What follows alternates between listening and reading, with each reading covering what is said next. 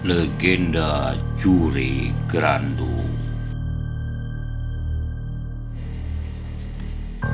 Jure Grando adalah seorang petani tinggal di Kringa, desa kecil di Kroasia. Semasa hidupnya, dia rajin mengurus tanah pertaniannya.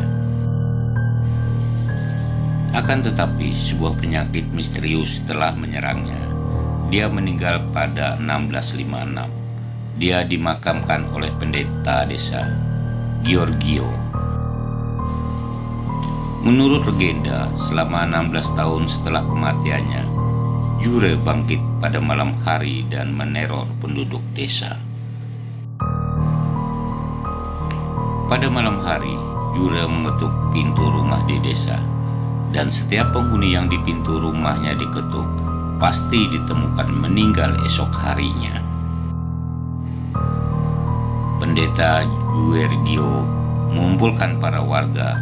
Mereka resah akan teror Jure, si mayat hidup. Malam ini mereka berencana untuk melawan Jure bersama-sama. Malam harinya para warga bersembunyi. Mereka menunggu kehadiran Jure dan akan mengeroyoknya beramai-ramai. Satu jam kemudian Jure datang ke desa. Para warga langsung mengeroyoknya, namun Jure sangat kuat. Para warga terpental saat menyerang Jure. Jure menyerang balik. Para warga berlarian ketakutan.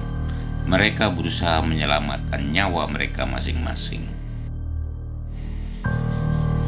para warga mulai putus asa. Mereka berniat untuk pergi dari desa. Beberapa hari lalu muncul pemuda pemberani, Miho Redetik. Miho Redetik adalah pemburu mayat hidup.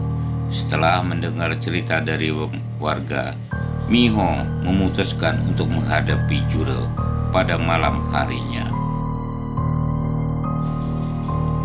Pada saat malam harinya, Miho pergi menuju ke makam Jure seorang diri. Dengan bersenjatakan kapak, dia melawan Jure. Terjadilah pertarungan sangit antara Miho melawan Jure. Kemudian sebuah ayunan kapak Miho mampu menebas leher Jure.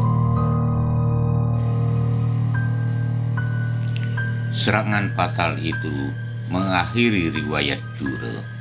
Kepalanya terpenggal dan makamnya penuh dengan darah.